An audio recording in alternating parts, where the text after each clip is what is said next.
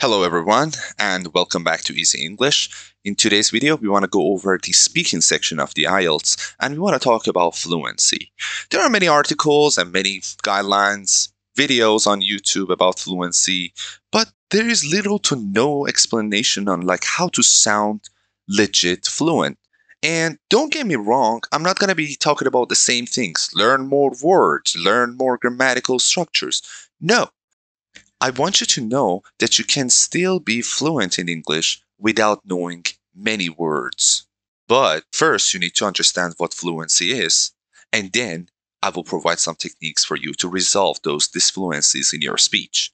There are mainly two reasons why we go ah in our speech. The first one is a language problem. So basically, you might just find it difficult to find a word and expression. Let me give you an example you're talking about, let's say, your room and cleaning your room. And you just can't, when you're talking about, you just can't think of the word vacuum cleaner. So you might even know the word, and when you see the word, you might recognize it. But the fact is that because of the fact that you haven't used that word quite often, you don't have an easy access to that word. And well, this is kind of like you know um, identified as a language problem. The other common problem is that you get stuck in the structure. So basically because of the fact that you're not very fluid with grammar usage and when i say grammar i mean all the structures that there are in the english language you might just find yourself stuck. You don't know like you know you get lost in your ideas and you know you don't know how to just wrap your idea up so these are the language problems. And if you're a language learner and if you've been learning English, you would understand what I'm trying to talk about and you would find it pretty much familiar. Even native speakers and the good speakers of the language might have a hard time to generate their ideas. So that's an idea generation problem. And that is when you don't find an answer to the question. So, I mean, let's say, let me just give you a simple example. Like I ask somebody what is two plus two, and they go like, um, I don't know. You know, it's as easy as that. So you just don't know the answer to the question. That's why you say ah to buy yourself some time. And the other reason is that you might just have, and this is pretty, this is something that I face myself. I have many ideas, but I cannot sometimes organize my thoughts, and that is natural. That is normal.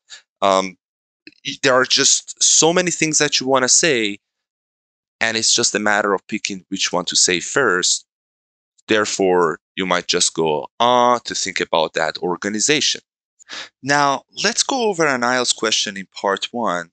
And we want to answer this question in three different ways. Okay, so pay attention to how it goes. And you tell me which one sounds better. Keep thinking about it. Be judgmental about it. So the question is Do you prefer to save money or spend money? This is the first answer. I think uh, it's so much easier to um, spend money than saving it uh, because the cost of living now is so high, um, which makes it hard to even think of uh, putting some money aside. Okay. As you can see, there are just lots of ons, and it just takes a long time for the person who's answering this question to like formulate their thoughts and uh, say what they want to say. Let's get to the second sample. I think it's so much easier to spend money than saving it because the cost of living now is so high, which makes it hard to even think of putting some money aside. Instead of going on, this time I just went silent completely. I just stayed quiet and said nothing and thought about what I wanted to say next. Did it sound better? I think it does sound better when you do that. Now, I would like to call this the rule of silence. And guys, silence is your best friend. It's better to say nothing at all than to go um and um because all those disfluencies might confuse the person that is listening to you. I mean, just forget about the IELTS exam for a second. Just imagine that you're talking to a friend. If you just say um or uh, you would just signal that you are not sure about what you're talking about. So, and you might just sound confused and unsure and uncertain, and these are all not good signals. Now, IELTS is a language proficiency test, but they are looking beyond the just grammar and vocabulary. They're, they want to assess that whether you are a suitable candidate to communicate in an English speaking word. So go silent. Whenever you're not sure of what you're saying, just go silent. And you can practice this by recording your voice and trying to like listen to your own voice. And whenever you hear yourself saying ah and ms a lot, just phrase the question in the IELTS again, answer the question, record yourself, and stay silent. Try to punish yourself by starting over every time you make a mistake or every time you make this disfluency or whenever you say um and m restart recording. This should be a sort of punishment. And when you punish your brain, it you would you're basically commanding your brain to do it the way you want to do. Okay. So keep doing that and you would get it right. Now also I want to answer the question that we had in a better way. There is also a better way than just staying silent. Okay. Now let's learn what that is. Notice how I answered this question this time. Do you prefer to save money or spend money? I think, well, it's so much easier to, you know, spend money than saving it. Basically, because the cost of living now is so high, I guess, which makes it hard to even think of just putting some money aside. All right, what is the difference now? What am I doing? I'm filling those gaps, those like parts that I was silent at with some words that do not really, really have a meaning. They probably do, but it's not without them we can just make our sentences the way they are and wouldn't even change the meaning. These words are called filler phrases, and um, I would like you to know some of these filler phrases. They're pretty useful, and like native speakers use them very naturally. Basically, the reason that they do it is to give themselves a little bit of time to think about what they want to say next if they have like problems in formulating their ideas.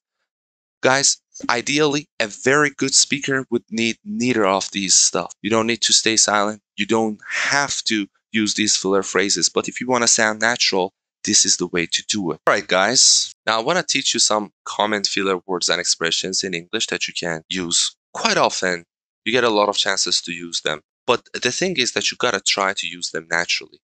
And you need to find the right place to say them. Okay, so if you overdo it, you might just sound weird wouldn't sound as good. I'm gonna probably make another video on how to use filler words appropriately, but for now, let's just learn these words. Repeat after me. Like. So. Okay. Well. You know. Actually. Basically.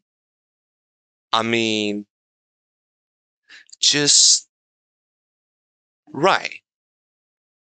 I guess, yeah. At the end of the day, literally, seriously, or something. I want to say, believe me, highly. Let me be very clear. Needless to say,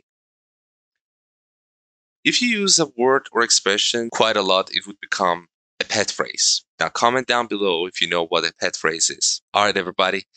I hope you enjoyed the video. And if you did, please don't forget to like and subscribe to the channel. And I'll be seeing you in the future videos.